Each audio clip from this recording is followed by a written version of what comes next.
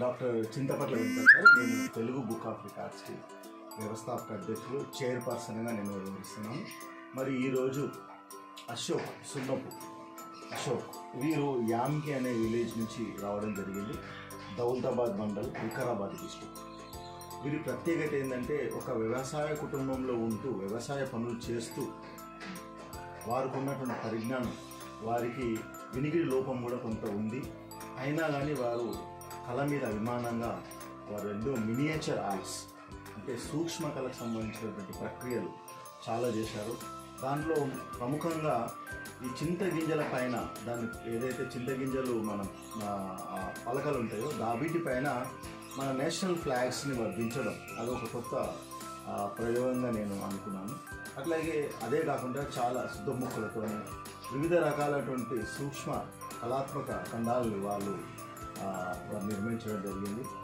మరి ఈరోజు వారికి ఒక ప్రత్యేకమైన గుర్తింపునిస్తూ ఎందుకంటే ఒక కళాకారుడికి గుర్తింపిస్తే వారు ఇంకా ఉన్నత స్థాయికి ఎదుగుతారనే ఒకే ఒక ఉద్దేశంతో వాళ్ళని మరి ఈరోజు ఆఫీస్కి రమ్మని పిలవడం జరిగింది. వారు ఒక ఒక ఒక మారుమూల గ్రామంలో ఉంటూ కూడా ఒక కళా కళాత్మకమైన సృ సృజనాత్మక వాళ్ళ వారిలో ఉన్నటువంటి విధిని మేము గమనించి వారికి ఈరోజు తెలుగు బుక్ ఆఫ్ రికార్డ్స్ తరఫున మరి వారికి అప్రిషియేట్ చేస్తూ వారికి అభినందిస్తూ ఈరోజు దానికి సంబంధించిన ధృవీకరణ వారికి అందజేస్తున్నాను. అట్లాగే వారు ఇక ముందు కూడా ఎన్నో మంచి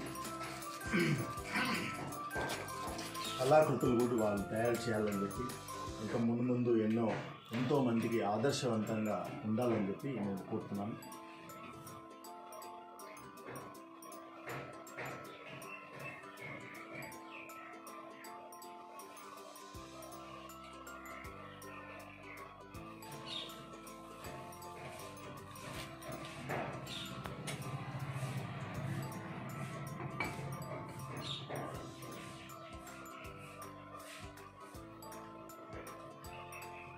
నవ్వు అశోక్ నవ్వు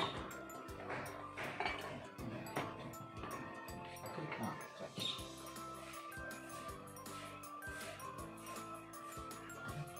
రికార్డ్స్కి సంబంధించిన ధృవీకరణ పత్రానికి పత్రాన్ని మరి అశోక్ గారికి అందజేయడం జరిగింది.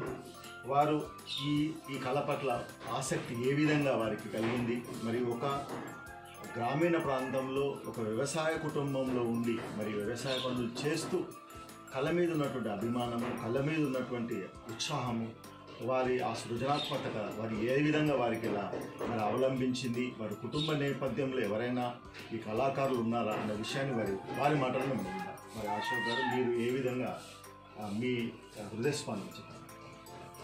వికారాబాద్ జిల్లా దౌలతాబాద్ మండల పరిధిలోని యాంకి గ్రామ పంచాయతీకి చెందిన నిరుపేద చిత్రకారుని నేను ఈ సూక్ష్మ కళ లోపల ఆకర్షణ రావడానికి ప్రాథమిక దశ నుండే పాఠశాల స్థాయిలో ఉపాధ్యాయులు పదే పదే సైన్స్ మ్యాప్లు గీయించడం ద్వారా చిత్రకళ ద్వారా ఆసక్తి ఏర్పడింది.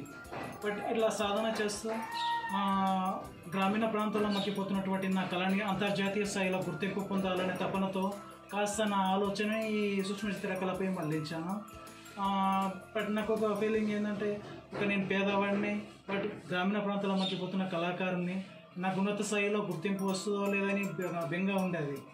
బట్ నా కళని గుర్తించి ఈసారి ఈ సహాయ సహకారాల ద్వారా నాకు ఒక వేదిక మీద గుర్తింపు తీసుకొచ్చినందుకు నాకు చాలా గర్వంగా ఉంది. ఇలాంటివి సమాజంకి నా కళను ఇంకా పరిచయం చేయాలని చెప్పి కోరుకుంటూ సార్కి తెలంగాణ ఉద్యమాభివందనం శుభాభివందనం.